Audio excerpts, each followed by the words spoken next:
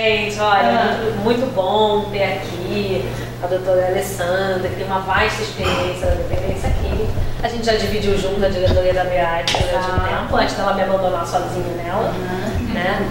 É, e nos últimos anos ela vem se especializando é, na questão da sexualidade. Foi um prazer. Na verdade, eu queria muito ver a palestra e quando eu vi ela falando em São Paulo, convidei ela aqui por puro interesse e resolvi dividir com vocês é, esse momento de, ter ela aqui com a gente. E eu que agradeço, né? Para mim é uma honra, uma alegria estar aqui, porque faz um tempo que eu quero vir na família Cliff, né? E eu falei para vocês, vão enviar meu currículo, quem sabe eu venho trabalhar aqui. Muito bem, então tá. Então vamos começar, porque senão a gente tem muito tempo aí pela frente, né? É, vou falar sobre alguns hot topics em sexualidade, né? E o primeiro desses hot topics que eu escolhi foi falar sobre a assexualidade, né? que é um tema extremamente novo, né? E que a gente ainda está se aprofundando, querendo conhecer, tanto que amanhã foi exatamente o que a gente vendeu para o repórter do Globo, falando, cara, esse é um assunto que ninguém fala, né? É, sim, os assexuais existem, né? Durante muito tempo pensou, não existem os assexuais. Quem são essas pessoas? Né?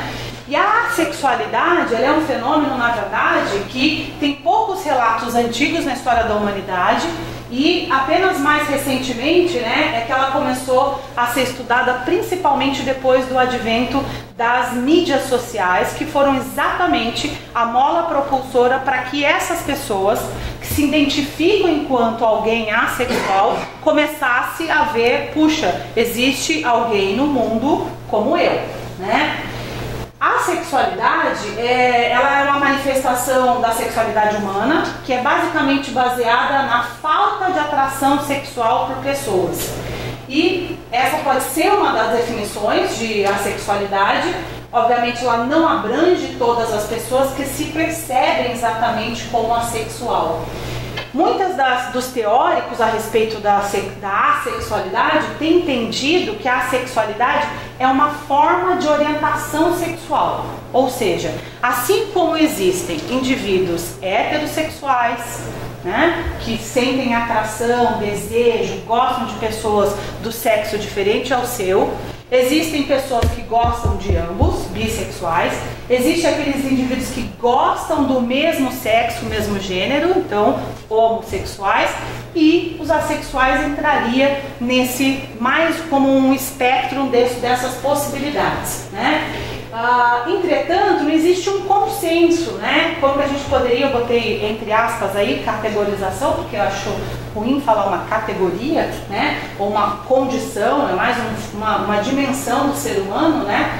Ah, porque, em geral, nós vamos ver que a, a, partir da própria definição de orientação sexual, eles não se encaixam muito propriamente nesse contexto. Né? Porque quando a gente define orientação sexual, uma das formas é a direção do desejo erótico, do afeto amoroso e da atração sexual e emocional de uma pessoa pela outra. Então, da onde se deseja? Desejo erótico, coisa que em geral os, os assexuais não têm. Né? Desejo, minha gente, não é algo que eu possa é, mensurar facilmente e colocar num escaninho, né? Não é algo que eu, que eu diga isso é estático. Aliás, na sexualidade, muitas das questões sexuais hoje são entendidas dentro de um espectro de possibilidades, né? É, e aqui seria mais uma delas, né? E é, não é algo que é facilmente categorizado. E eu costumo usar esse menininho aqui, que é o pãozinho de gênero, né, justamente para a gente trabalhar algumas, algumas definições, né. Uma delas que a gente está falando é justamente essa do coraçãozinho, ou seja, a orientação sexual, né.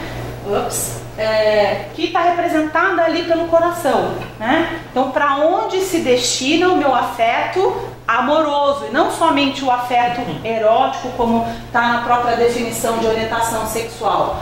Então, uh, e sexo? Quando eu falo o que, que é sexo? Sexo é aquilo que nos define machos e fêmeas, que é justamente o que está representado, vamos dizer ali, no meio da nossa perna, né? Basicamente, ou seja, nós nascemos machos, nós nascemos fêmeas e tem pessoas que nascem entre um sexo e outro, que é o antigo hermafrodita e que hoje a gente chama de intersexual. Então essa é a definição de sexo. Orientação sexual no coraçãozinho, para onde que vai o meu afeto amoroso, o meu desejo erótico, a minha atração. Identidade de gênero, é lá, como eu me identifico, como que eu me percebo neste corpo.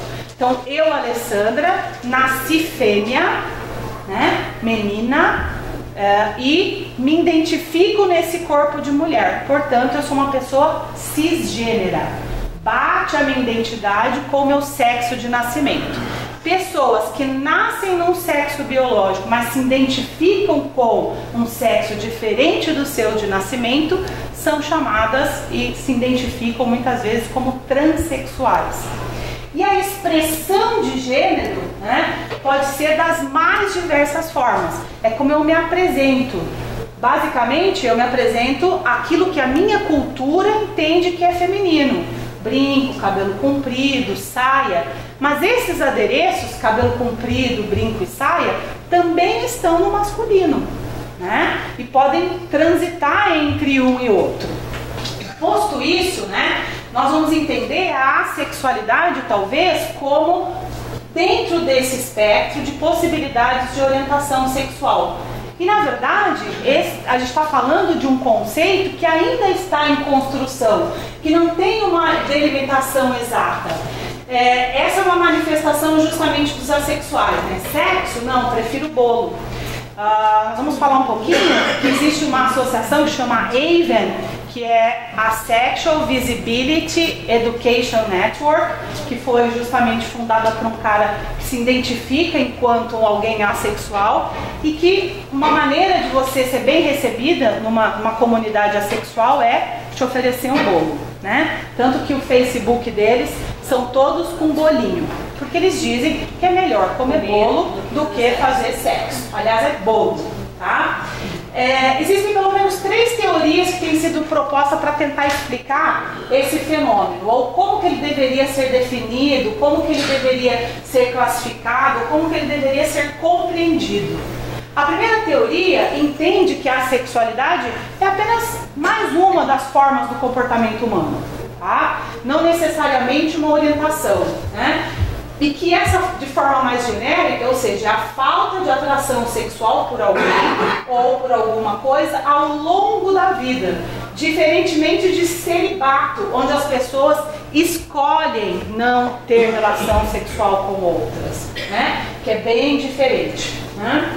É, então, a sexualidade é algo que é diferente de celibato. Por quê? Celibato eu escolhi, eu quero é, pertencer a essa religião e essa religião é, apregoa que sexo não é, é uma atividade sexual com outra pessoa, não é uma prática é, permitida. Portanto, eu estou de acordo e não vou ter relação sexual.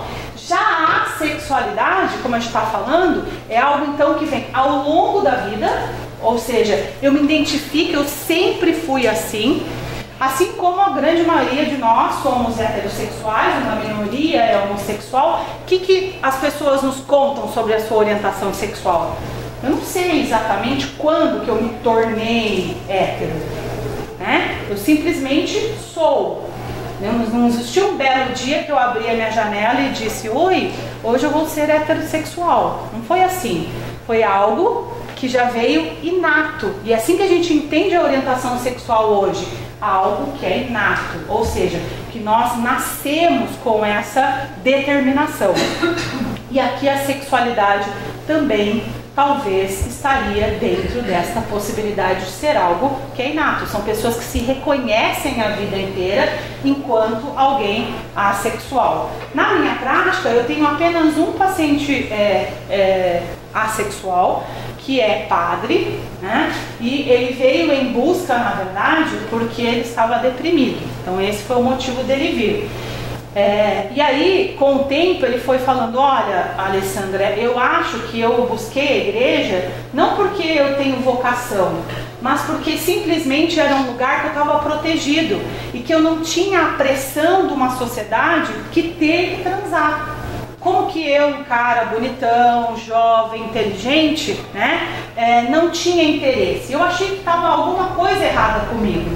E aí a, a, igreja foi tomando esse espaço, eu fui me dedicando.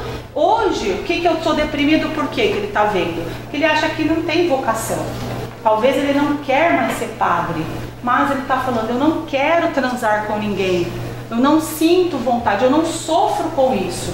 Isso não me causa sofrimento, né?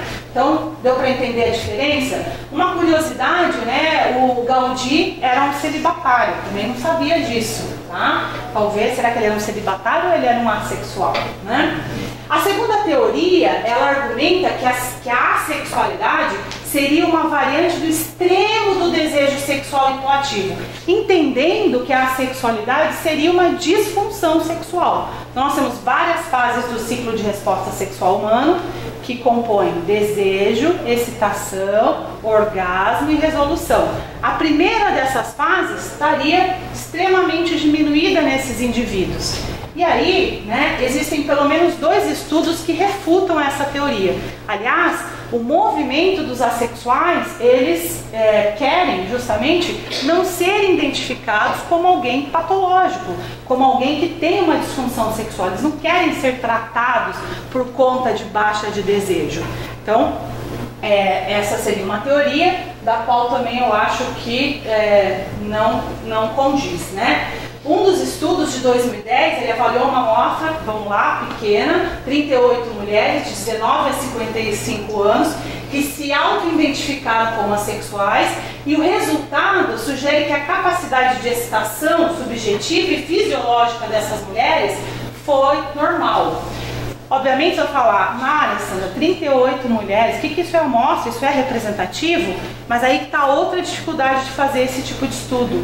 Da onde eu recruto esses indivíduos?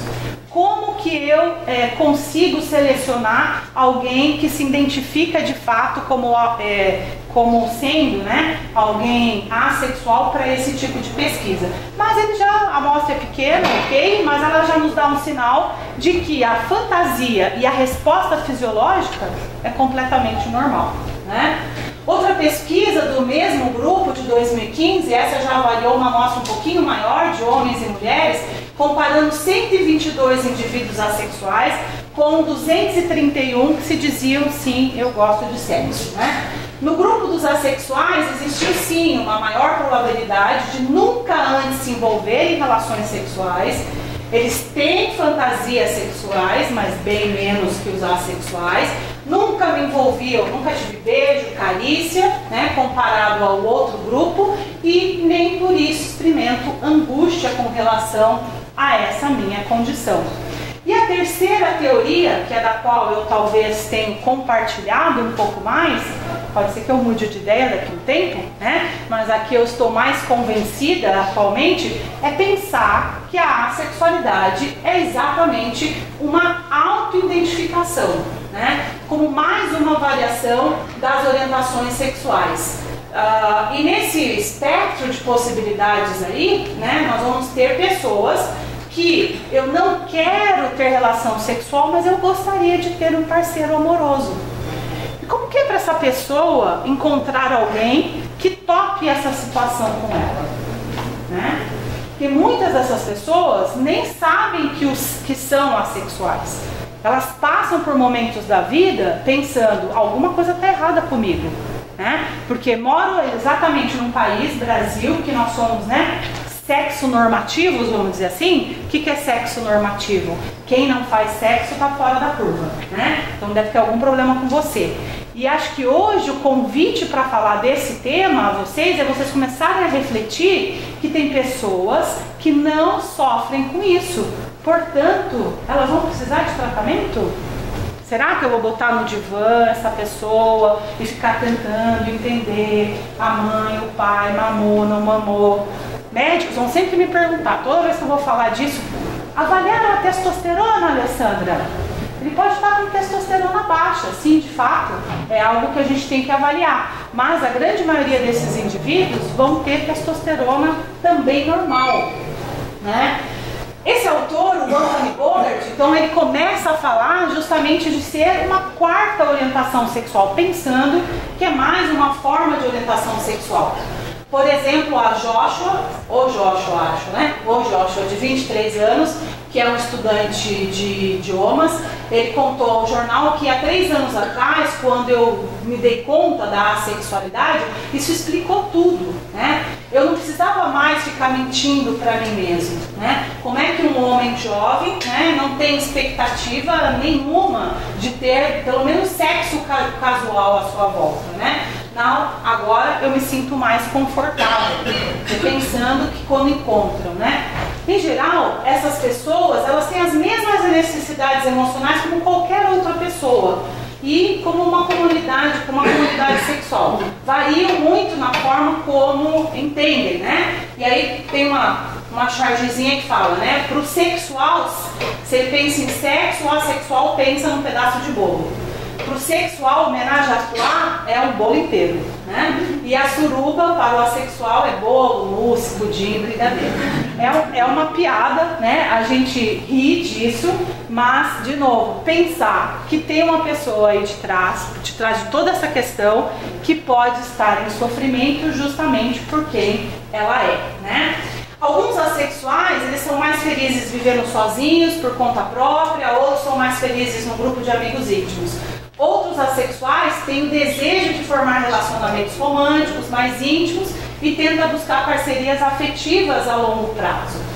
E aí a gente vai encontrar, e eu peguei exatamente do site da Aven, as possibilidades. Tá? Então, entre essas, essa, essa orientação, existem os aromânticos, que seriam uma pessoa que não sente atração romântica amam do mesmo modo que qualquer outra pessoa, mas não romanticamente. Então, eu amo você enquanto meu amigo, minha mãe, meu pai, mas não de uma forma de estabelecer parcerias com, essas, com essa pessoa.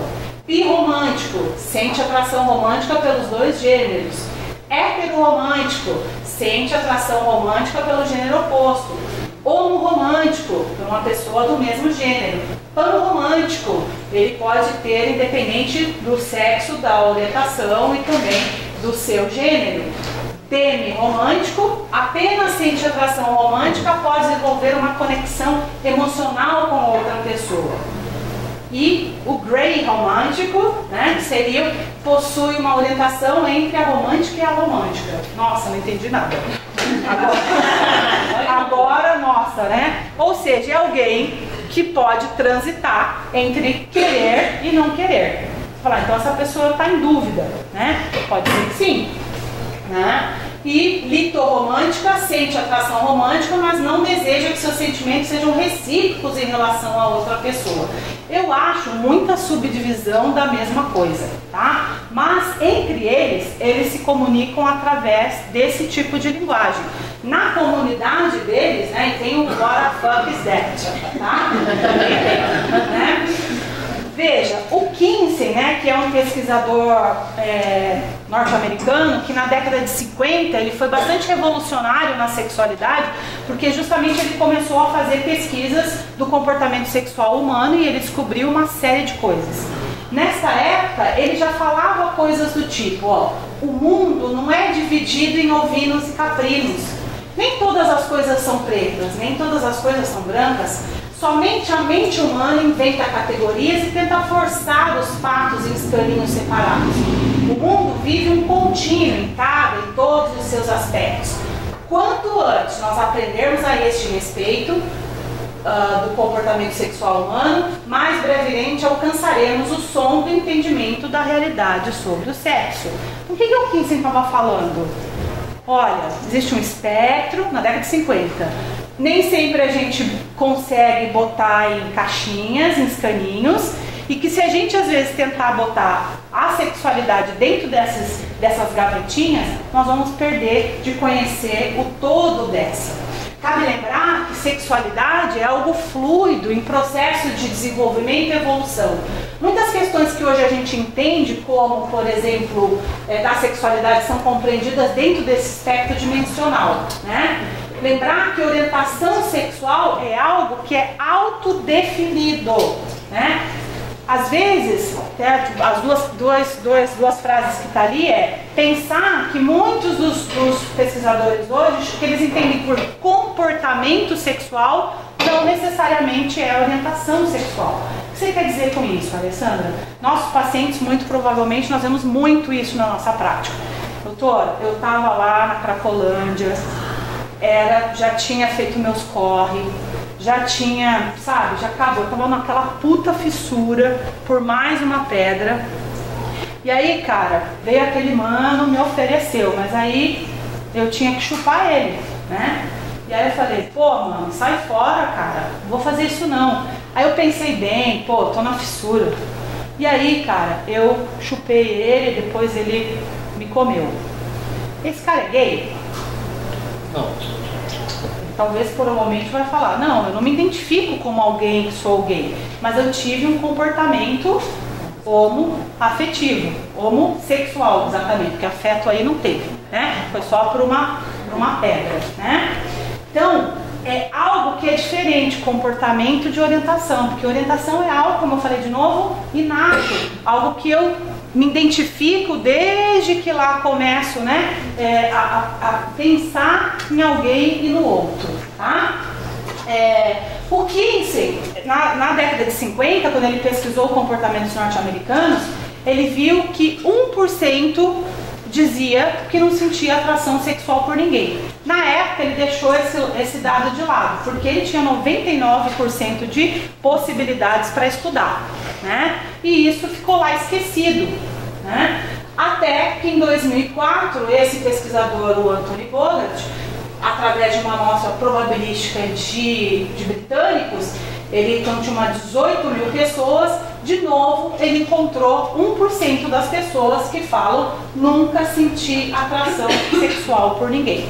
Então volte e meia eu vejo as pessoas falando, ah, eu tô tão assexual. Não, eu já tive desejo, vontade e agora eu estou sem, tomei sem libido. Então são coisas e conceitos diferentes. A sexualidade, de novo, é alguém que eu me reconheço assim. Eu sempre fui assim. Né? Eu não me reconheço de outra forma. Ah, Acredita-se né, que nós temos 70 milhões de pessoas vivendo neste planeta que se consideram né, sem atração sexual. É gente pra caramba, né? Se a gente for pensar. E a falta de atração, ela pode ocorrer por vários motivos, né? A sexualidade é apenas uma delas. Algumas pessoas não se sentem atraídas por homens ou mulheres devido, posso ter tido trauma na infância, problemas hormonais, então tenho hipotireoidismo, obviamente a minha libido vai estar lá embaixo. Eu posso estar com baixa de testosterona, a minha libido vai estar lá embaixo, né? Ou algum outro transtorno psicológico e isso vai demandar atendimento médico ou psicológico.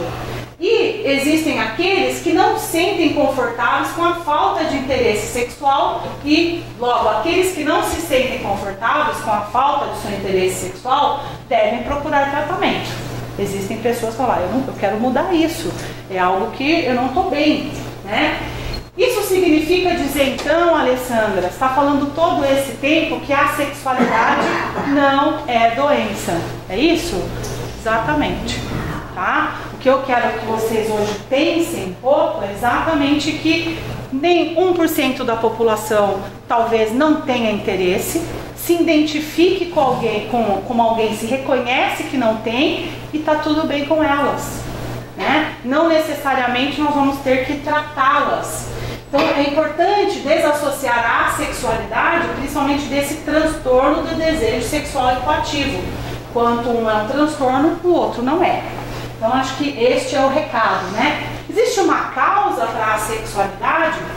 Então, também, tudo em pesquisa. Nós não sabemos por que, que 90% da população é heterossexual e 10% é chamado de minorias. Né? Aliás, os pesquisadores nem estão mais preocupados em buscar causa. Né? Já se buscou muito o gay, o, o, o, o gen gay, né? É, e se associou bastante à questão de como os filhos são criados e parará, isso tudo caiu por terra. Hoje a gente entende a orientação como mais uma forma do espectro. Né? Então, de novo, a, a orientação homoafetiva é mais uma dentro dessas possibilidades e a sexualidade talvez entraria nessa questão. Esse autor, o mesmo, Anthony Bogart, ele viu algumas associações. Isso não quer dizer que é causa, mas ele vê uma associação entre as pessoas que se auto-identificam como assexuais. Ou seja, na amostra dele ele encontrou é mais comum em mulheres, está relacionado com uma alta religiosidade, baixa estatura. Você vai pensar, o que tem a ver, né, cara? O cara, o cara é baixinho e não tem tesão, é isso? Então agora começar a olhar, hum, baixinho. Altão. Altão. Então, né? Ou baixa educação, nível educacional, nível socioeconômico e alguns problemas de saúde, né? E as mulheres também tiveram a menarca mais tarde, né? os resultados sugerem que existe talvez algum componente biológico, psicológico aí nessa questão. Tudo especulação. E outras têm falado exatamente que, olha, não tem nada de errado com essas pessoas. Tá? Ah, Outra pesquisa com 187 voluntários, 133 mulheres e 54 homens, recrutados justamente da EVE, mostrou que nessa amostra a resposta sexual foi menor do que os dados normativos, mas isso não é vivenciado como algo angustiante. Essas pessoas se masturbam? Sim, se masturbam. Agora não me pergunte, pensando em quê? Né? Ah, agora sei lá. Né? É, bolo. No bolo. É, ok, elas se masturbam menos que a média da população e parece que é justamente algo assim como para, né, descrito como é, aliviar uma sensação corporal, né? Mas que não existe uma, uma, uma fantasia erótica propriamente dita, né? É, como avaliar essa questão, como eu disse, tem muitas limitações metodológicas, principalmente como é, que eu, como é que eu mensuro, como é que alguém se identifica, como é que eu capto. Então esse tem sido um dos maiores viés, né? É, esses mesmos autores, o Broto e o Yuli, que sempre publica com ele, até fez uma escala, uma escala que chama uma escala para você se identificar como a, a Sexuality Identification Scale, pode ser. Eu não sou muito adepta dessa coisa de escala, ainda mais aqui na questão da orientação. Se justamente eu quero despatologizar, uma escala pode justamente aumentar essa questão da patologização. Por outro, é uma ferramenta que pode nos ajudar minimamente a triar esse indivíduo que, que pode ser um assexual. E aqui está o fundador dessa associação, que é o, a AVEN, que é a Sexual Visibility Inter Education Network, que foi fundada pelo David J que se diz um assexual. Aliás, para quem se diz um assexual, ele está muito sexy, tá, é, é. Se esse é um assexual, você imagina. Ele está flertando com a câmera, assim, né? Então, essa é a bandeira dos assexuais. É, tem uma pegada, né? Eu acho que é a conversinha para ele poder pegar. Chega o bolo. Oi, bem-vinda. Você que é bolo? Não, não. E o bolo não é de chocolate, então esse bolo não entendeu. Você bota mais graça nele do que no bolo. Olha lá, a gente estava muito comportado. No Facebook está lá as, o bolinho do site do Facebook, né? E ontem eu entrei aqui para ver se tinha alguma comunidade no Brasil e a gente já tem também, tá? Que é essa comunidade assexual e aqui tá lá o glossário, né? Tudo aquilo que eu falei do aromântico, litoromântico, grey romântico, né? E eles se comunicam assim. E aí, você é grey romântico ou aromântico? Tá? É, então quem quer saber mais em português. Ele nasceu em 82, é virgem e pretende seguir sendo não é padre e não pensa em sexo at all. E aí vocês vão pensar, como? Né? Eu, a primeira vez que ouvi isso, me causou estranheza. Demorou um tempo para eu digerir esse conceito, porque eu, como assim? né, a, a primeira coisa, ainda mais médico, né, da onde que é a minha formação, a gente é treinado a ver patologia, a ver doença. Então foi difícil um pouco para mim no início desassociar e falar, para aí, como assim? Né? Essa pessoa que é gato, jovem, né? Alguma coisa está errada com ele. E aí vai passando um tempo e estudando e talvez assim, eu, como eu falei, eu só tenho um paciente, mas nós temos vários documentários em YouTube aí que vocês podem acessar depois para saber quem são essas pessoas. E vocês vão ver só falando, né? Ou seja, ele não tem sexo e está satisfeito. Inclusive um dos, ó, de novo flertando, né, gente? É, ele tem, esse, esse é um dos videozinhos, né, que fala asexual, é, nem todo mundo está fazendo isso, tá? Ah, essa comunidade, ela tem 13 idiomas e... É A é a associação. Ele, ele é magro, É, né? é magro, Por isso ele que é magro, magro, não. E aí, que eu acho que ele teve um papel importante justamente por, por nessa, nessa era digital dar visibilidade a essas pessoas que começaram, opa, oh, achei meu lugar, tá aí alguém que, que é igual a mim, né? É, e essa comunidade, ela atua politicamente em prol de causas. Daí eu também fiquei pensando, gente, o que, que um assexual quer? O gay, sim, quer casar, né? Ter, ter direitos, dividir lá, tal, tal, tal, né? Civis. E o, e o assexual? Uma das bandeiras é exatamente essa. Parem de nos rotular como uma- um, um doente. Parem de nos rotular enquanto alguém portador de uma disfunção sexual, né? No Brasil, a única pessoa que nós temos notícia no momento que pesquisou a respeito disso é a Elizabeth Oliveira, que eu tive prazer de conhecê-la, ela deu aula pra gente, e ela fez justamente uma tese chamada Minha Vida de Ameba numa Sociedade Sexo Normativa. Interessante o título da. Na, na medicina, se eu botar isso, nem passa, né? É, é. Ou seja, alguém que é ameba, que não precisa do outro, né? Se divide sozinho, tá bem sozinho. Numa sociedade sexo normativa, ou seja, que demanda sexo, que pede-se para transar, né? E nesse contexto, eu até fiquei lembrando quando eu tinha, né, a questão da virgindade, por exemplo, né? Vai estar gravado e depois vai lá, meu pai, pro YouTube, né? Esse é o problema, né? Mas era algo que era assim, né? Se eu perguntar para minha mãe, minha mãe falaria assim: eu sou virgem, né? Com muito orgulho, antes de se casar, sim, sou virgem. E eu, né? Era cabaça até entrar na faculdade de medicina. E aí a galera perguntava você, eu, eu ficava assim, putz, né? Ah, vamos falar disso. Eu tinha vergonha de dizer que eu era virgem, né? Então, quer dizer, é uma inversão de valores ou é uma inversão de, de, de como muda talvez o tempo, que hoje, como assim você é virgem? Pro homem, Né? Exato. Em cima do homem, com certeza. Como é que você né, tá na faculdade de 18 anos medicina, né, na- no ambulatório de ginecologia e ainda não transou, né? Então, para vocês verem, se, se nós que vivemos nesse universo sofremos esse tipo de pressão, imaginem essas pessoas, né? É, e a Elizabeth, ela recrutou essas pessoas pela internet. Então, uma das questões aí da pesquisa dela, ela não entrevistou pessoalmente as pessoas, né? Ela, ela entrevistou via questionário ah, e ela conseguiu, né, uma amostra de 40 pessoas, tá? E eu pensava, bom, se o estudo do broto mostrou que tem a ver com religiosidade, tá aí, cara. A pessoa é muito carola, né? Por isso que ela não pensa em sexo at all. O que, que mostrou a grande maioria dos, da amostra dela? 52% deles ateus ou agnósticos. Então, ou não acreditam ou negam. Interessante, né? A gente pensar nisso. É, ou sem religião.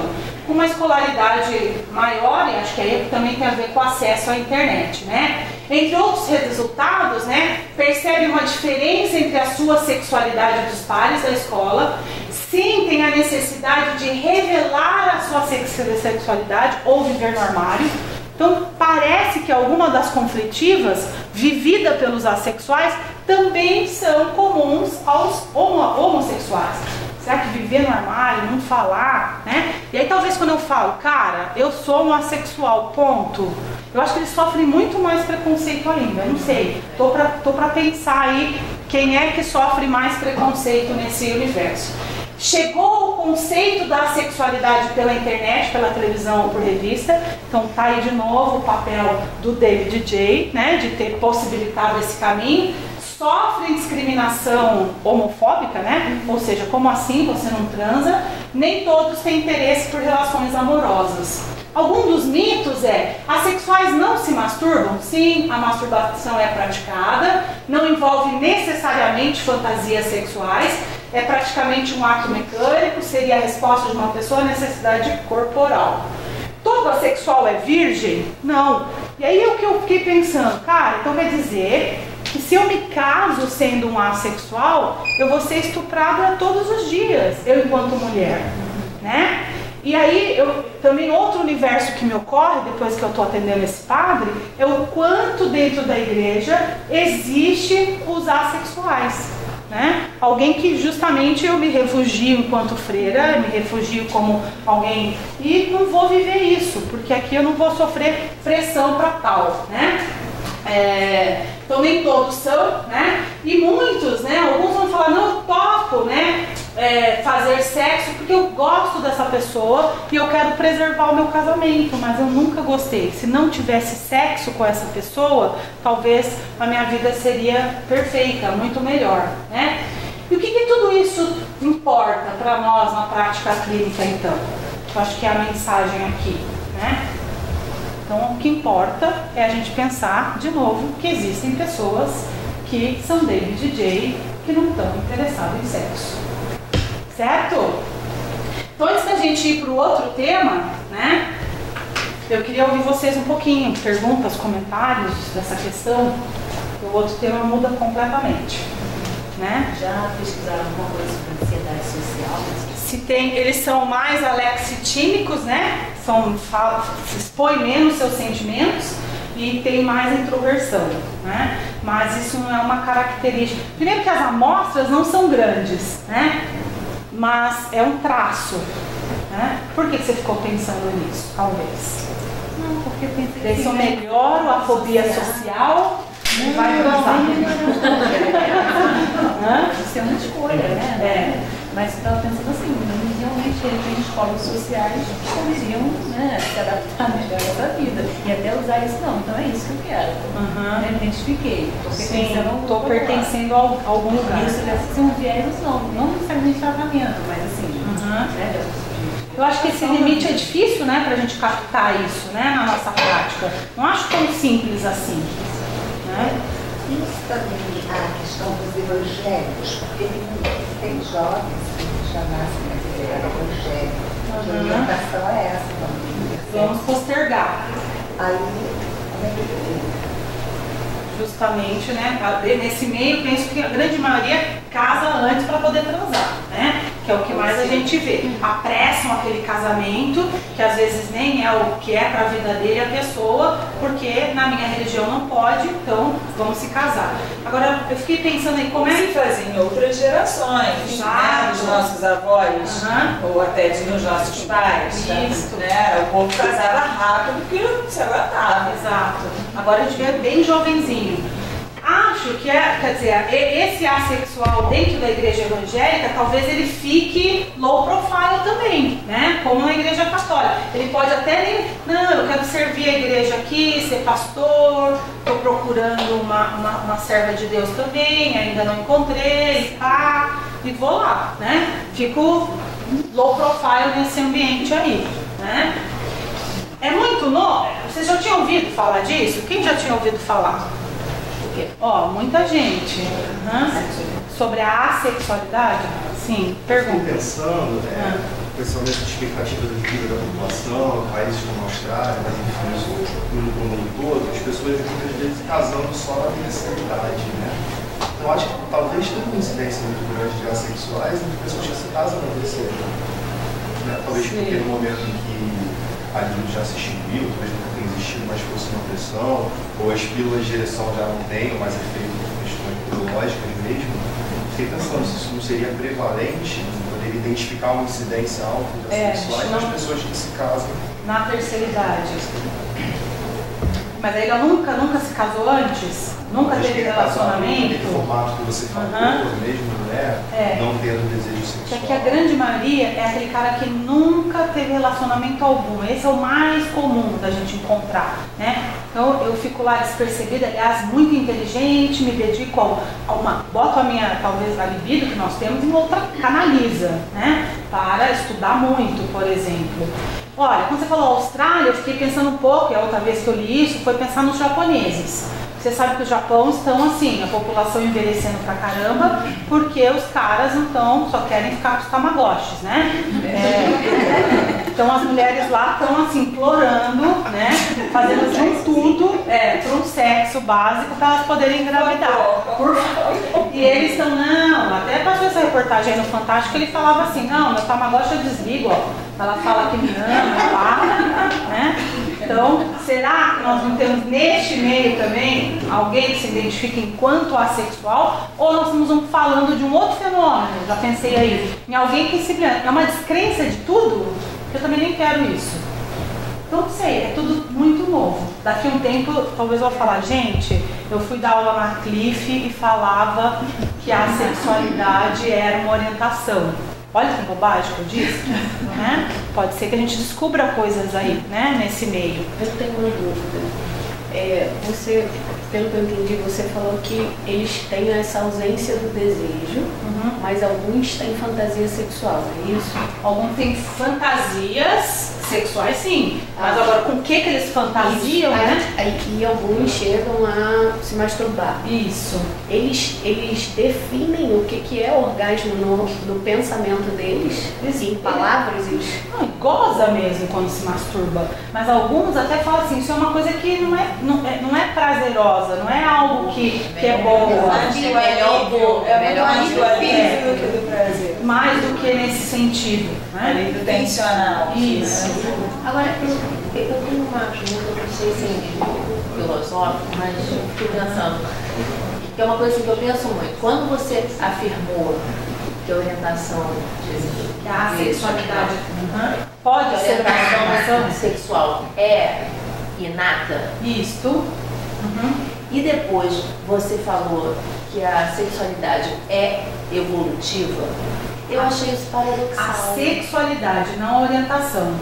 E aí, eu também acho que é, que é inato, né? Mas que nós gostamos de pessoas, independente da orientação e do gênero dela. Eu sempre me reconheci alguém como heterossexual. Eu não descarto da minha vida de um dia gostar de uma mulher. Eu não gosto de mulheres, mas será que eu não posso gostar de uma mulher em especial? Isso pode acontecer na minha vida? Pode né? Então, que quando quando a gente fala sexualidade, é uma coisa muito ampla, né? Sexualidade é muitas dimensões. Que o padre que não transa tem sexualidade, porque ele se veste enquanto homem, ele está se apresentando a esse mundo, ele posiciona um gênero dele, então isso é exercício da sexualidade. Eu dar aula aqui, falar hoje, estou exercitando a minha sexualidade. Agora, a orientação, né? Eu nasço com essa tendência, vamos dizer, essa propensão. Por que, que a gente está falando cada vez mais que é inato? De novo, para parar de querer tratar gay, ter cura gay, né? Para pais ficarem buscando, né, alguma forma de remover este demônio da vida do filho dele. Mas isso que você está falando é muito legal, porque eu, eu, eu já atendi casos assim, enfim, experiência, né?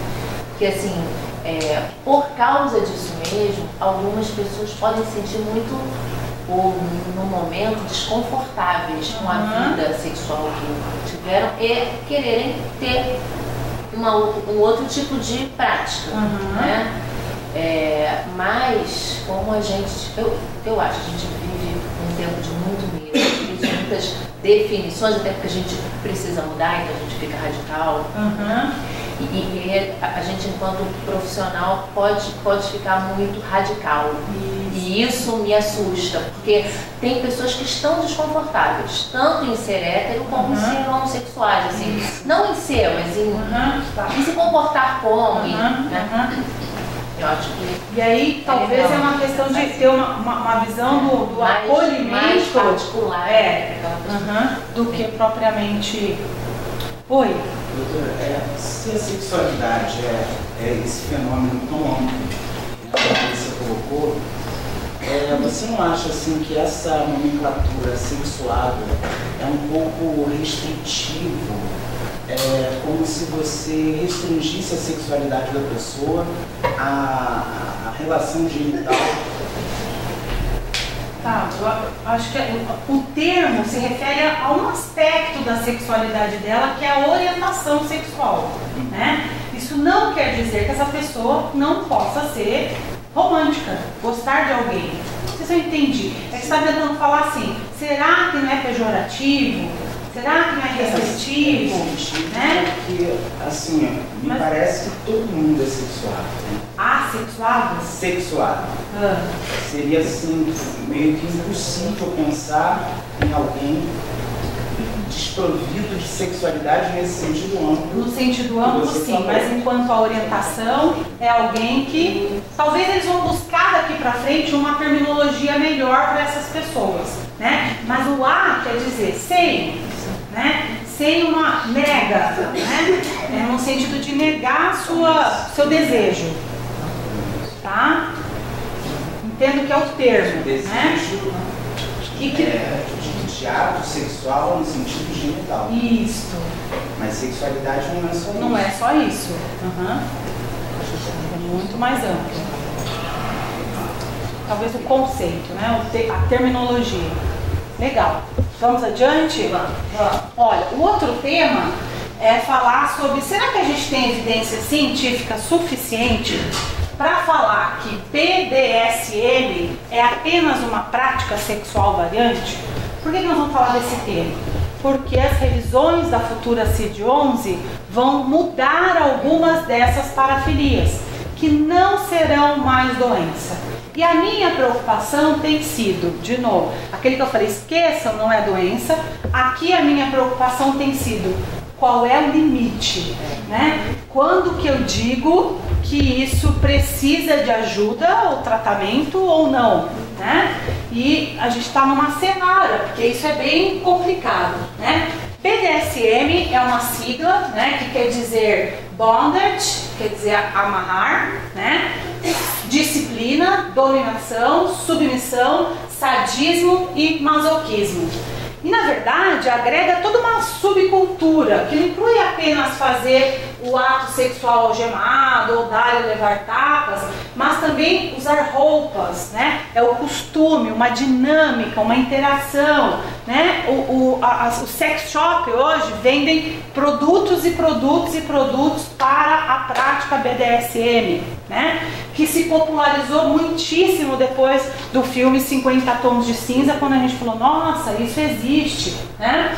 É, e nem todas vão se encaixar nesta sigla, né? Disciplina diz respeito à técnica de disciplinar ou ser disciplinado por uma pessoa para os mais diversos fins. Embora seja consentida, a disciplina geralmente vai além de uma simples relação de dominação.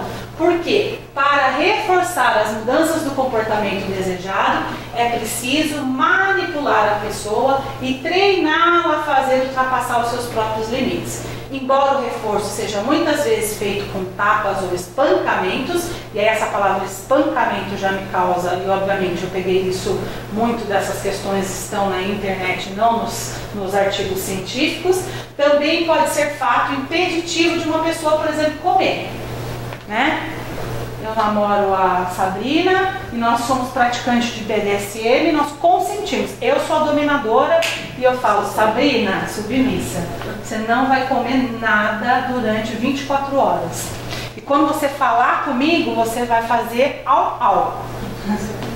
E a Sabrina tem que fazer isso. E ela se submete a fazer isso. Só que tá, tá no contexto sexual? Não, né? Tá- extrapola do contexto sexual, né? Vai além para as atividades da, da vida diária. Dominação e submissão, dinâmica de relacionamento, onde uma pessoa se submete a outra, que toma controle da situação. É o caso de alguém que permite que uma outra pessoa amarre, humilhe, espanque, mande fazer coisas por objetivos que podem ser os não sexuais.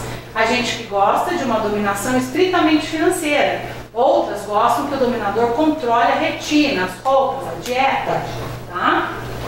Bondage, a arte de amarrar a pessoa, seja pela estética, pela restrição, pelo prazer erótico. Existem muitas técnicas, aliás, quando você entra na comunidade dos BDSM, o tipo de nó, o tipo de amarração, o tipo de corda, o tipo de elástico, o tipo de tudo, tá? Tem várias coisinhas aí, né? Desde algemas, correntes, grilhões. Há pessoas que sentem tanto prazer em estar amarradas que praticam bondage em si mesmo.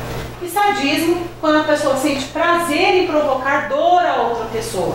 Fora do BDSM, sádico é o adjetivo que normalmente damos a pessoas que consideramos muito cruéis, como estupradores, serial killers. No BDSM, essa palavra sadista é usada para destacar quem gosta de um tipo de sexo seguro e consentido, onde pode causar dor em suas parcerias. E masoquismo é o contrário, é aquele que se submete gosta de sentir, né, de, de ser o que sofre, o que recebe, né. Então, apenas para a gente falar o que, que tipo de prática, para vocês entenderem que o o BDSM, vai além do contexto sexual, tá?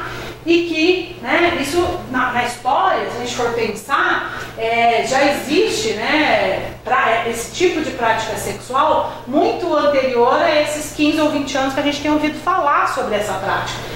Eu tive que ler o Kama Sutra, tive não, eu escolhi ler, né? Era uma. Eu fala a li, na verdade, foi assim, pra mim foi Kama Sutra quer dizer aforismos do amor. E eu fui pra Índia com a minha mãe e tinha que fazer uma porra de uma monografia lá pro padre. Aí eu falei, ah, eu vou fazer do Kama Sutra. Tá.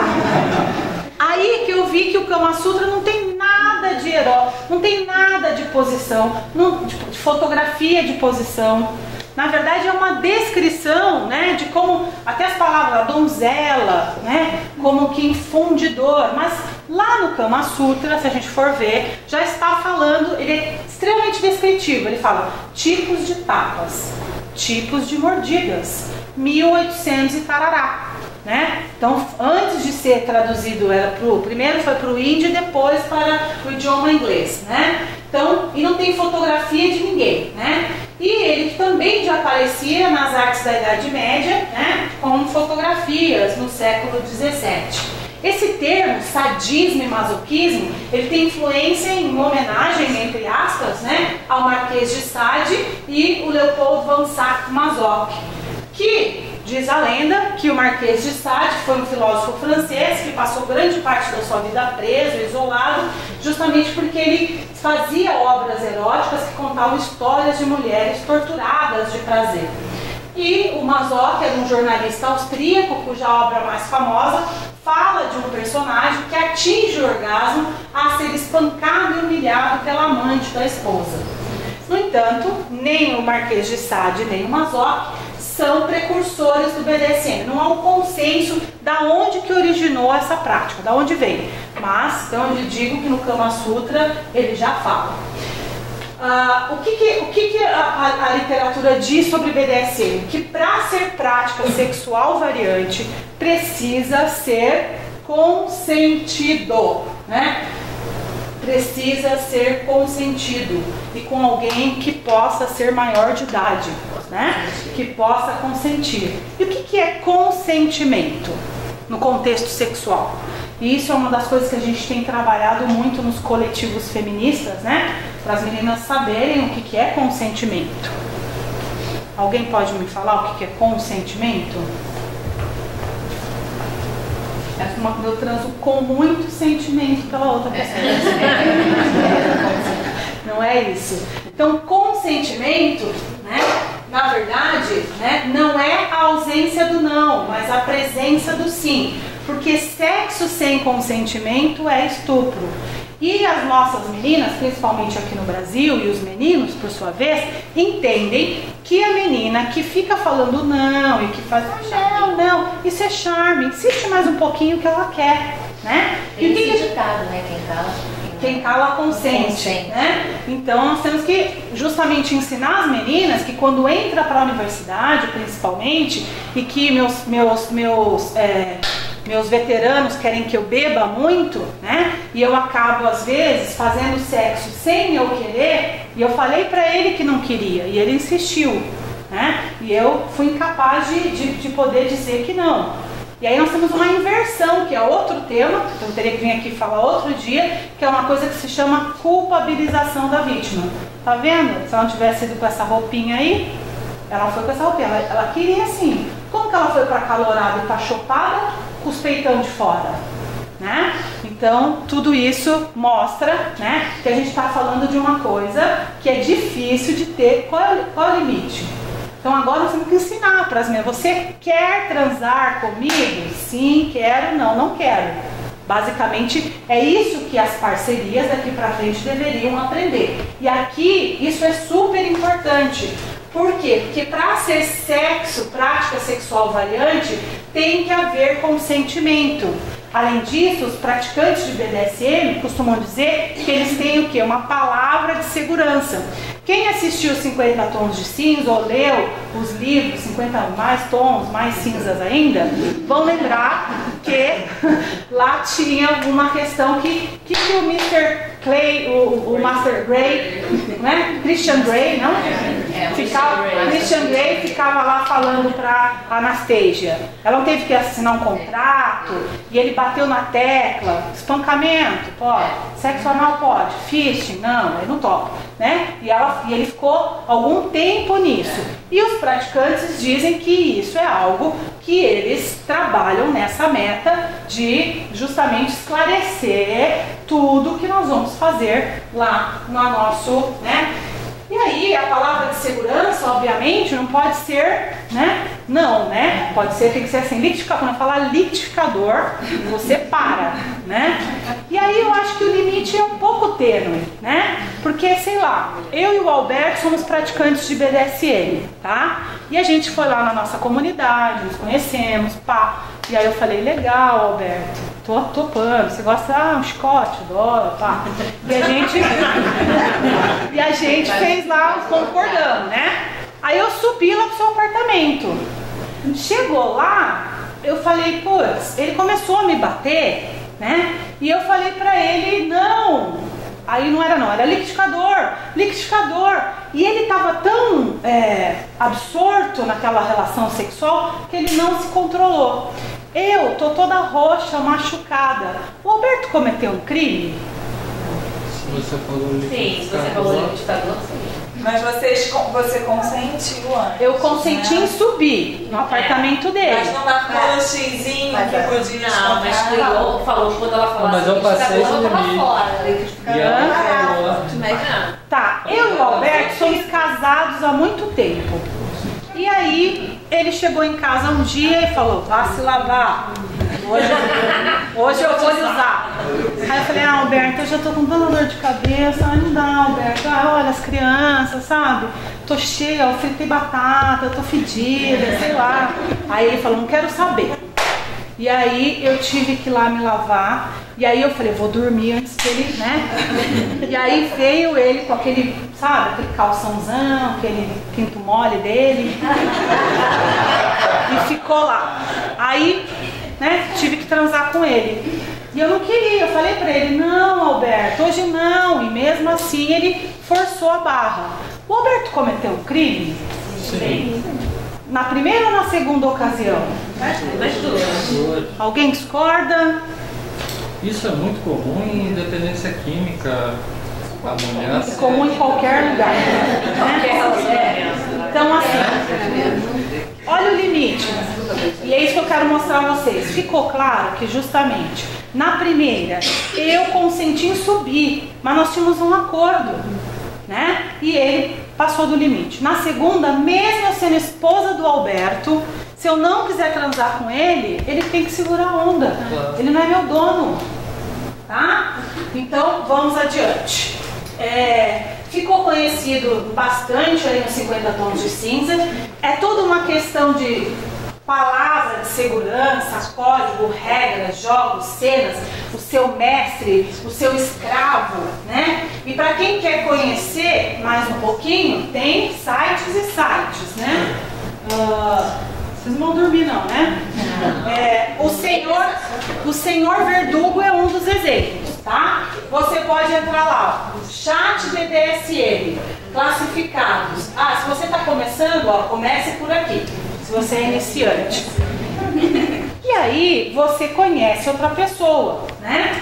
E nisso também tem um clique ali, ó. Se você for menor de 18 anos, você clica no não, né? E aí você não entra. É isso? É isso. Então é outra coisa que eu quero chamar a atenção de vocês, tá? Que esses, a grande maioria não tem trava alguma, né? E é, hoje as nossas crianças, nossos adolescentes mexem em qualquer e essa é uma das possibilidades. E ele vai encontrar alguém do outro lado num chat que vai conversar com ele e pensando que ele tem sei lá que idade, tá? E a gente falou que só pode ser com consentido. A- essas práticas, aliás, são muito mais comuns do que a gente pode pensar, né? E eu costumava brincar, numa aula que eu dei no Sembrap, no qual a Thaís já fez também, né? Que eu falava, não, quem tem essa, gente, vocês vão me desculpar, mas essa é muito bizarra. Que é uma prática sexual em que o outro se veste de bebê, tá? E bota talco, né? Diz a lenda que lá em São Paulo tem uma mulher que cobra 300 reais mais que nossa consulta pra botar talco. E aí ela fica bebê, gaga, gugu. E a pessoa se excita com isso, né? E aí eu brincava e tal. Até que uma das alunas me procurou depois. Alessandra, eu estou num relacionamento de tantos anos e meu marido é um. Eu esqueci o nome dessa prática agora. E aí eu falei, putz, não vou brincar mais. Por quê? Porque atrás tem o quê? Alguém que tá sofrendo pra caramba. No começo, ela falou, ok, é uma variante. Só que de variante para essa pessoa passou a ser sempre daquele jeito. E ela falou, eu não quero mais vestir bebê de chupeta e ficar bebê gugu.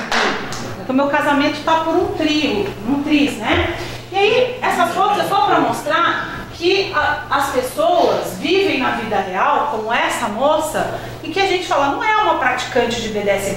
Existe esse estereótipo de pessoas que são praticantes de BDSM, né? Então, essa é uma outra pessoa que está lá na sua casa mostrando ela depois no, como Christian Grey, Christian Clay, sei lá. E ou essa, né? Que ela gosta de. Tem um nome também, muitos nomes para isso, tá? Mas ela gosta de se vestir de lobisomem, né? Ou de dominadora. A maioria é dominadora, né? Outros exemplos, ó, pet play. Pet play, o submisso se comporta como um bicho de estima- estimação. Geralmente o animal é um gato, um cachorro, e as brincadeiras incluem o uso de utensílio, pratinho. Então bota a coleira e fala, come a dominação. E ele tem que latir, ele tem que abanar o rabo e assim por diante. Pony play.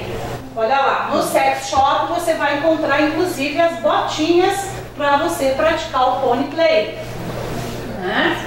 Ou o age play, ah, ó, tem outro nome para isso também, mas é isso. Ele gosta no contexto, principalmente, de se vestir de criança, tá? E de ser chamado de, de questões do universo das crianças.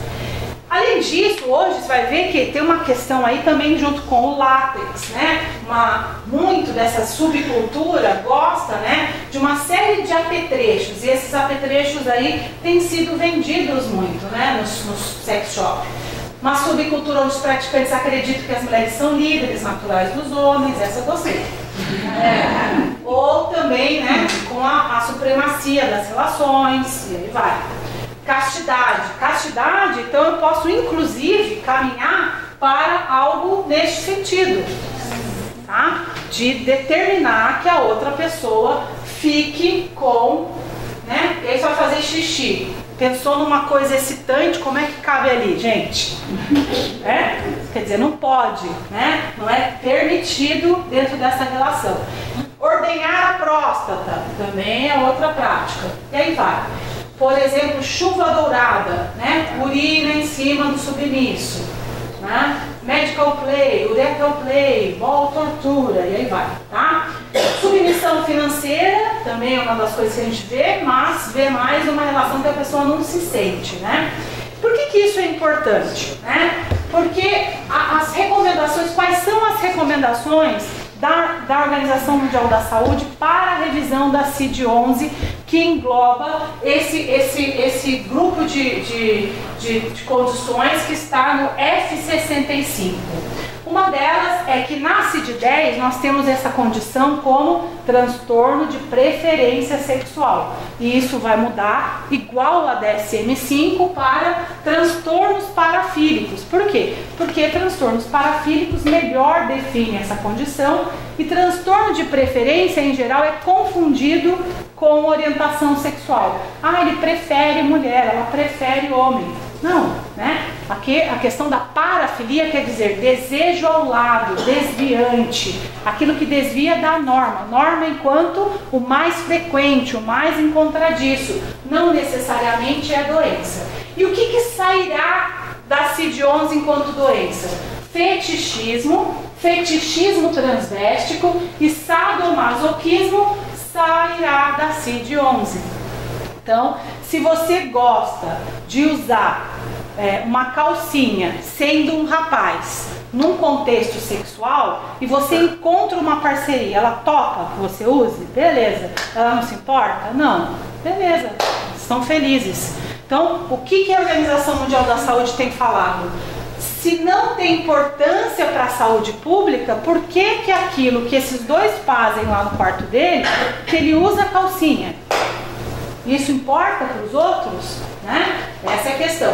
Não tem associação com, é, com prejuízo, isso não traz prejuízo para a vida dele, ele não está sofrendo porque ele gosta de botar sutiã enquanto transa, né? Então, isso também não tem problema. E porque a, a Organização Mundial da Saúde quer, no contexto não só sexual como outras doenças mentais, tentar na medida do possível, estigmatizar o menos possível, tá? Então, fetichismo sai, fetichismo transvéstico, que é exatamente isso, eu vestir parte do acessório do outro sexo dentro da relação sexual, e sadomasoquismo só será doença quando for coercitivo. Se você encontra alguém que topa, tudo bem. Então, oi. Mesmo que isso machuque realmente? Então, vamos botar, é, essa é a questão dessa aula. Justamente para, a, para ser prática sexual variante, não pode causar lesão, dano ao outrem. No Brasil, aliás, esse é um artigo que vai sair talvez na revista brasileira, se for aceito, que a gente fez com vários, vários é, forenses dessa, do Brasil, né? Perguntando o que que isso muda para a realidade brasileira. E eles disseram: nada. Por quê? Porque o Brasil existe uma tipificação de crime. Nas duas situações que eu estava com o Alberto, ele me deixou roxa. Independente se ele é praticante de BDSM ou não, se eu consenti ou não, ele teve lesão corporal. Portanto, existe tipificação de crime. Pronto, Alberto pode responder se eu assim for processado. Né? Ah, mas ele pode acusar que ele tem um transtorno parafílico, então ele não será é, incriminado. Vírgula. No Brasil, a grande maioria dos juristas e das, dos advogados não se apegam ao transtorno mental para determinar a prisão, porque sabemos que daí o Alberto vai ficar numa, no judiciário forever, enquanto se ele for para cadeia porque ele me bateu, ele cumpre lá um tempo, depois ele bota, né, a, a tornozeleira dele, vai para casa e fica tudo bem, né? E a gente até volta, né, Alberto, para namorar. E por exemplo, aqueles apetrechos é, impeditivos de urinar, coisas desse tipo, quer dizer, que podem tra é, é, trazer algum dano clínico, Exato. não explícito, Uhum. né? É, A posteriori, né? exatamente. Exato. Pra mim, É, é justamente mesma questão. a mesma questão. E essa é a questão, E né? uma coisa Oi. que me chamou muita atenção Sim. foi essa coisa que você falou que até teve uma paciente. Isso não é considerado um, tomando mesmo, porque a tal história, né? Ter uma fantasia tão forte com isso, o que, que será que impede essa pessoa de fazer na realidade? Isso. É um, fe, é um fetiche, não necessariamente vai ser doença mais. Tá? Porque depende. O outro traz sofrimento. O sofrimento é porque socialmente isso não é aceito. Então é isso que, que a Organização Mundial da Saúde está tentando separar uma coisa da outra. A dona Lourdes, né, é uma professora aposentada de 53 anos, que quando eu, logo que eu me formei, fui trabalhar lá na periferia de São Paulo, num bairro chamado Jardim Ângela, e aí me chega a dona Lourdes para falar comigo, né? E aí ela veio por uma questão de ansiedade, e ela é obesa mórbida. Eu pedi para ela tirar a blusa, porque naquela época era uma médica que ainda media a pressão, a psiquiatra que media, né? Eu falei, vamos então medir a pressão. Na hora que ela tirou, inteirinha roxa. Óbvio, o que, que me veio na cabeça? Ela sofre violência doméstica. Eu, querida, você pode falar aqui comigo, esse é um ambiente seguro. Ela, não, alguém? Não, doutora. E aí veio. Eu comecei a conhecer esse universo pela internet porque tenho dificuldade de encontrar parceiros, porque sou muito gorda. Primeiro, eu observava e conversava com os caras nos chats. Depois, comecei a fazer sexo pela webcam. Até que um dia eu aceitei ser escrava do Master Raymond. Ele me levou para a masmorra dele e me despiu. Depois me amarrou. Eu fiquei pendurada. Ele me batia com o chicote. E quanto mais eu falava coisas como puta, vagabunda, vadia, piranha, vaca bucetuda, mais eu me excitava. Não, doutora, não rola penetração. Não há perigo de eu contrair doenças lance todo tem relação com essa prática. Não curto penetração. A questão é que sempre sigo sozinha e tenho que andar com blusas de mangas longas para não mostrar essas marcas roxas na minha pele. Eu quase que prescrevi ao dom. Porque a pessoa tá me falando que vai pra masmorra. Eu falei, ela tá delirante. Alguém vai pra uma masmorra que é amarrada. Ela tá, delírio. Aí lá pelas tantas, né? Ela falou, doutora, abre aí seu laptop. Deu sim. Olha, olha essa. Ela foi mostrando toda. Eu falei, gente, o que ela tá falando é verdade. Isso minha porta cheia de gente, né? E eu lá, porque eu tinha que decidir. Ela vai internada? Eu dou ao dol? Eu mando ela para casa? O que que eu faço, né? E aí, na verdade, o que que, que, que eu vi? Denuncio o Master Raymond. Master Raymond, é, denuncio. E aquilo, eu fiquei tão. Na época, eu não tinha noção, nunca tinha ouvido falar disso. Eu estava distante desse universo da sexualidade, recém-formada, simplesmente óbvio que a minha cara denotou meu espanto e eu acho que isso em parte afastou a dona Lourdes de voltar para a consulta no posto. Eu pedi às agentes comunitárias, falei, pede para ela voltar. Mas por que a senhora está interessada? Falei, não, então, podia falar, né? Falei, mas ela não voltou mais, a consulta, o que será que. E, e era, era muita coisa, e eu nunca mais vi essa pessoa. Anos depois, né, estudando e foi entrar em contato com esse universo, eu falei, olha, dona Lourdes, né? Mas você vê como, de novo, a gente está falando de limites tênues, né? Entre uma questão e outra. Então, para ser doença na CID-11, tem que ser um transtorno que perdure por mais de seis meses, com impulsos sexuais recorrentes, intensos, fantasias. A pessoa deve agir sobre a influência desses impulsos ou estar perturbada por ele. Deve haver um sofrimento e ou risco de vida para si ou para terceiros. Então, esse é um critério e não consentimento tá? Então, para ser considerado patológico, vai daqui para frente precisar de todas essas questões. Mas será que a gente tem evidência sobre esse tema? E aí, há um tempo atrás, agora tem um pouquinho mais, se você botar no, no PubMed B, praticantes de BDSM, vão vir oito artigos. Agora deve estar vindo 13, a última vez que eu vi, tá? Então, quer dizer, nós temos 13 artigos falando alguma coisa sobre essas pessoas, né? Existem prós e contras. Importante diferenciar estupro de violência. BDSM precisa ser seguro e consensual para ser prática sexual variante. Alguns acreditam que é uma atividade sexista, porque sempre é a mulher, na grande maioria das vezes, que é submetida. Outros já relacionam os praticantes com pessoas perigosas e agressivas. Esse artigo de 2008 ele avaliou uma amostra de 19.307 australianos, foram recrutados via internet. A, a prática de BDSM foi mais comum em gays e lésbicas e bissexuais. Eles foram mais propensos a ter experimentado sexo anal ou oral tiveram mais de um parceiro no último ano, tiveram mais chances de ter relações sexuais com alguém que não fosse o seu parceiro regular, tiveram mais chances de ter participado ou de sexo por telefone, ou sexo usando um brinquedo, mais chances de ter tido sexo em grupo, ou também mais chances de ter feito uh, fisting, né? O que, que é fisting? Essa palavra que é você introduzir o seu antebraço todo no ânus da pessoa. Inclusive, se você for no sex shop, tem luvas de fishing, luvas sem os dedinhos. Azul, amarela, verde, tá? Várias corzinhas lá. Anilingos e assim vai. Não foram coagidos a fazer essa atividade, não se mostraram mais infelizes ou ansiosos do que de fato os que não estavam envolvidos e também não se relacionou com dificuldade sexual. E eu, a primeira vez que eu vi, também fiquei pensando, cara, ele não transa, o cara, o Miss Master Raymond, não, não come ela, não é porque ela é gorda, é porque ele é broxa, né? E aí, na verdade, o que os estudos têm mostrado é que justamente ele tem ereção. O prazer não está nesse tipo de prática, e sim na prática de amarrar, de bater, né? Ou de é, uh, fazer outras coisas, né? A questão aí também, né, é sobre a ideação suicida nessa população. Esse estudo é de 2016 e mostra, né, que desses 321 pacientes que se identificaram enquanto BDSM, apenas 37% deles tinham nível zero de ideação suicida.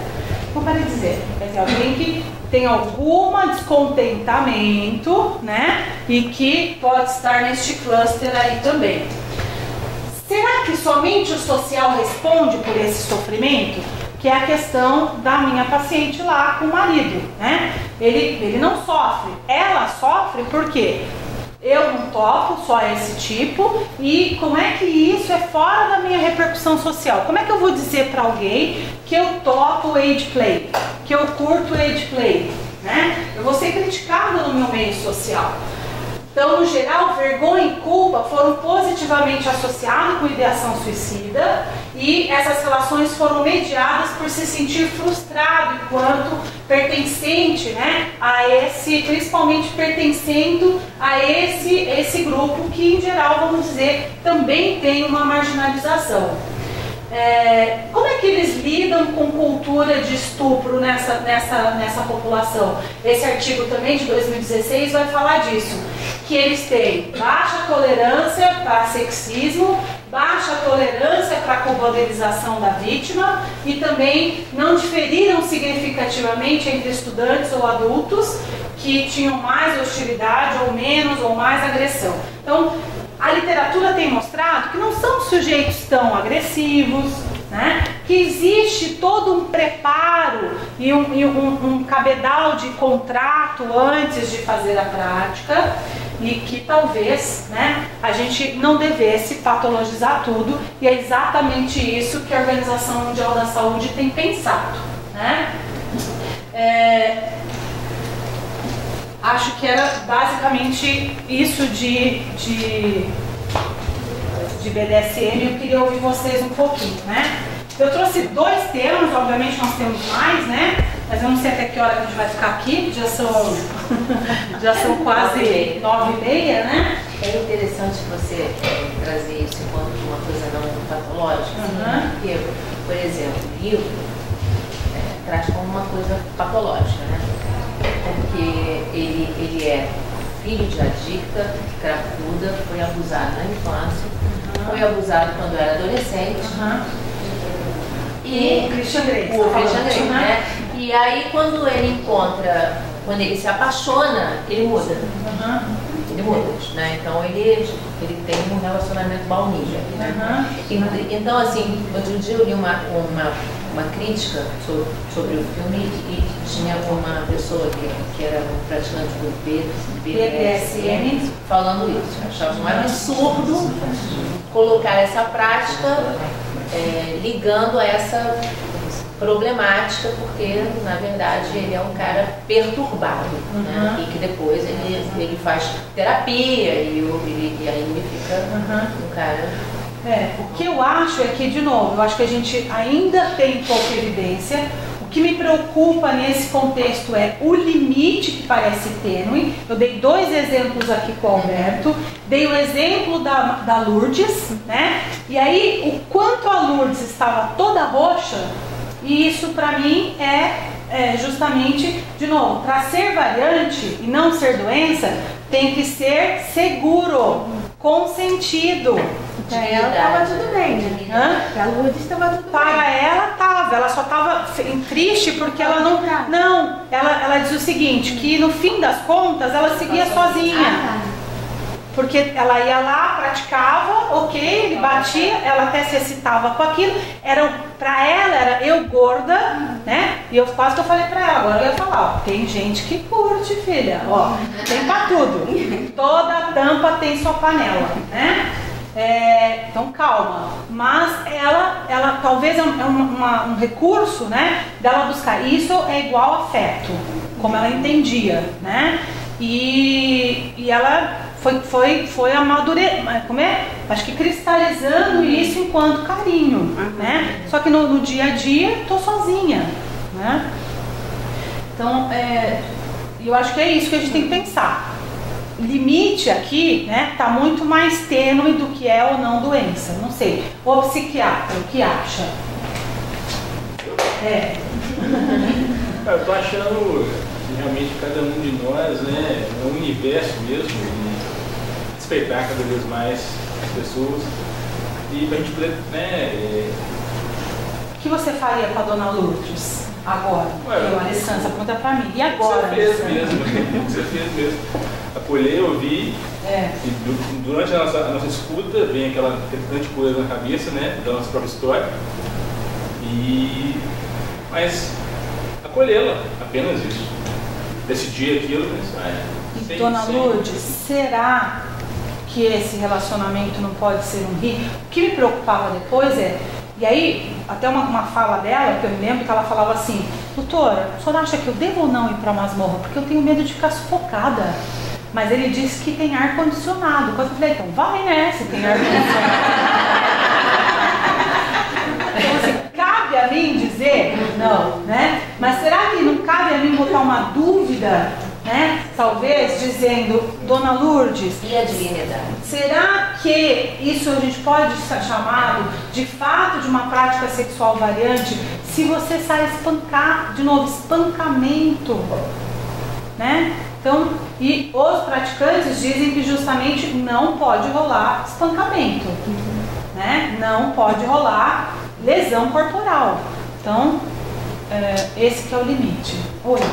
Achei muito interessante quando você colocou que muitas vezes não tem um orgasmo no final com relação ao sadomasoquista, que o cara é broxa. E fiz um paralelo, já que você falou que a dependência química tem muito essa questão da sexualidade, muitas pessoas estão no estudo da dependência química para esse estudo. Porque se você pensar na versão como uma organização neurótica, acho que nem toda adicto tem uma organização neurótica da mente. Mas muitas vezes é essa ânsia, essa expectativa do que vai acontecer, como você colocou ali, do, às vezes naquela coisa de privar de comer por 24 horas, Uhum. o sujeito fica ali, digamos, num estado de suspensão pela obtenção da droga, o contato com o traficante, e a droga de fato não é um gozo. Né? Sim. Se eu pensar neurobiologicamente, é o mesmo centro de recompensa, tá? Então, é o mesmo lugar, que é para comer, para transar, para correr, né? Para eu ver a outra pessoa apanhar e gostar disso, né? Oi.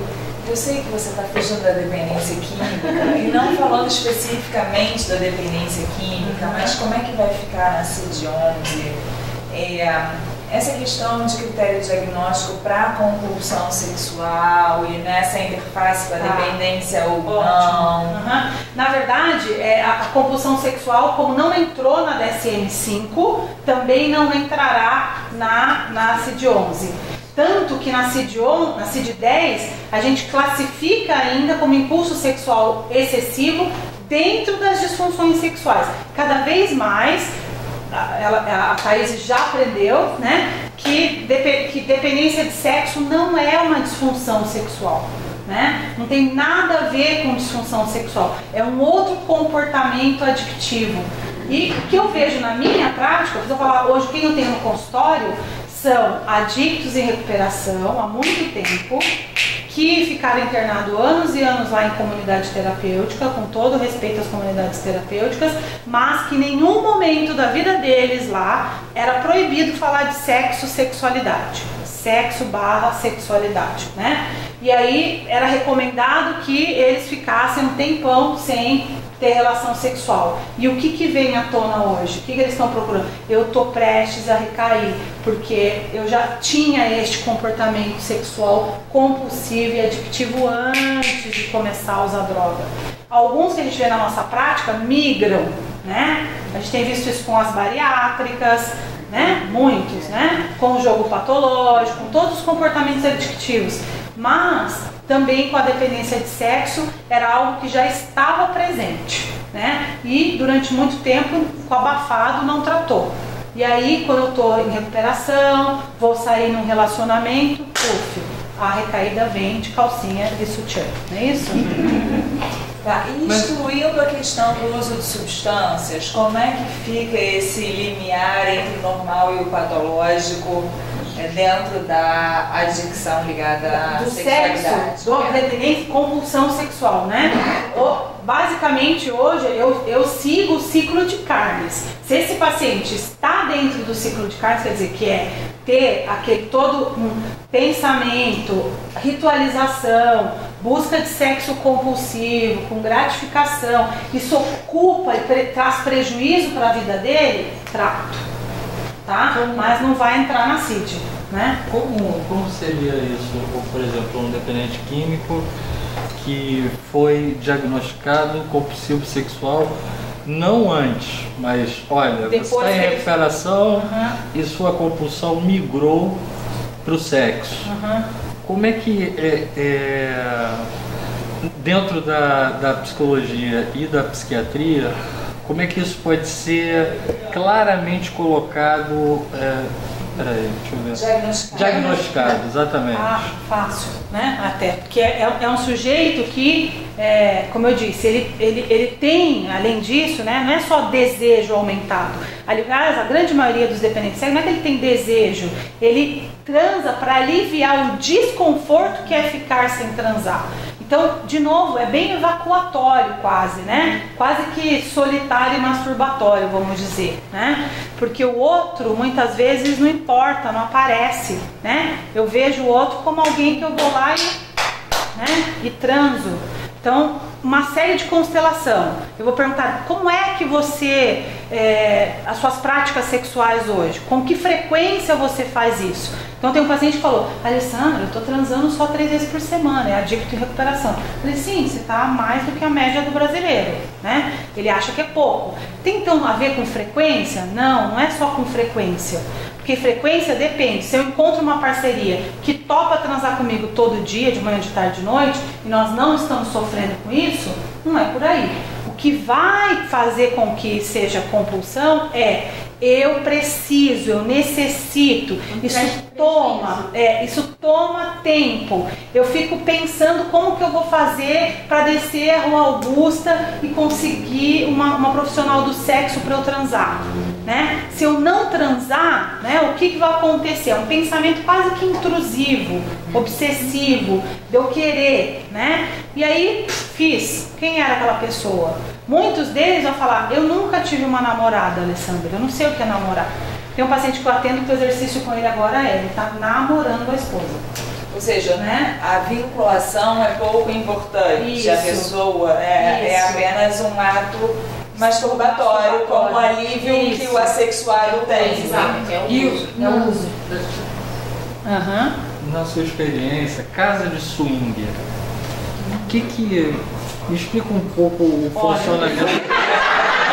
Compulsão A sua sexual. experiência. Pessoal e profissional. Profissional. Não, sabe o que você me lembrou? Eu fui dar aula. Profissional. Eu trabalho no Instituto Américo Bairral, né? E lá tem uma, vários setores, inclusive de velhinhos, né? E aí a minha colega Alessandra veio falar de sexualidade, eles estão pedindo. Só que maneira, não fala cu, não fala bunda, não fala nada disso. Tá. Aí eu preparei aquela aula, né? E aí na frente tinha um, um, um senhorzinho que ele fazia assim. Quanto que você vai falar de swing, doutora? Pode.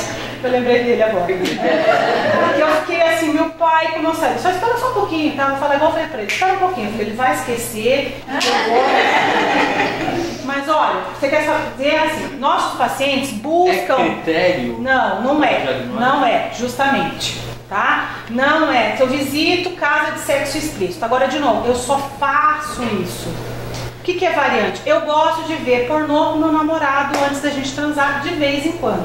Isso não é uma rotina. A gente também foi numa casa de swing uma vez para ter melhor é, outras fantasias. É uma coisa. Agora, eu só faço assim, eu só sei assim, eu só consigo assim. Eu só penso Eu nisso. só penso nisso. Isso toma tempo. Eu não, lá em casa eu cheguei, esqueci meu trabalho, teve prejuízo em outras áreas, né? Então é um marcador, pero tem que ver com que frequência e que prejuízo tem. Né? Obrigado. Ah, BDSM? Algo mais? Estão apavorados? Não. Acho que era basicamente uma- é, falar de- dessas duas questões aí A hoje, chamou né? muito mais atenção o assexuado do que o. BDSM. É, porque é como se é difícil é, entendê-lo, entendeu? E acho que essa cultura que vem de muito, muito tempo, que tudo que é diferente é doença, como canhoto, Isso, é parabéns lembrado. Porque Canhoto é considerado doente. minha irmã escrevia com as duas mãos. Mas no colégio de freira que a gente estudava alemã, ela até ela escrever com a mão direita, né? Então, Hoje é- a gente sabe, é geneticamente determinado. Se, se não tivesse um estudo, eu provavelmente, como leigo, falaria que era doença mesmo. Aham, Sabe, no sentimento. claro. Uma coisa que eu não consigo é, Imaginar. imaginar, É muito né? novo. Né? Mas que bom, acho que você agora está refletindo que talvez Sim. eles existam Eles e existem, deixa né? eles serem do jeito que são. Né? Oi. Como que os pais dos, dos filhos assexuados lidam com eles? Gente, não sei te dizer, porque eu nunca li de, de pais de, de, né, de alguém que. Talvez os pais até vão ficar meio, ah, ele, é um, né, ele não, não quis se relacionar, ele estudou muito. É mais por aí, entendeu? Ah, ela nunca foi essa vocação, só ela estudava, ela se dedicou muito à igreja, tá, tá, tá. Passa low profile, né? Diferente do gay ou do, né, que com certeza existe um- uma marca aí em cima da, da questão, né? Mas talvez, né, de- quem são as famílias deles, né? Não lembro de ter lido o estudo sobre isso. Esse pai desse cara, a mãe ficou super feliz do padre que eu atendo, porque para a comunidade deles, um filho padre era algo muito bem-vindo, entendeu? Então na família ele foi aceito muitíssimo, né? E ele falou: aqui eu não tenho que lidar com isso. Agora nós estamos trabalhando nessa decisão dele, de que talvez ele vai largar a batina, né? E vai viver a vida dele. Sendo alguém que não quer transar com ninguém, namorar ninguém, mas que não quer mais seguir a doutrina da igreja. Né? Apesar de ser um bom cristão. E nesse grupo de assexuados há incidência de adoção, é, uma necessidade de paternidade ou não? Também não sei notícia disso, da questão de deles adotarem crianças, né? Aham. Tá? De repente adotaria sozinho aí simples, tipo, Isso. Quem é que o. Muito bem, se não temos mais perguntas, eu quero agradecer, estou à disposição.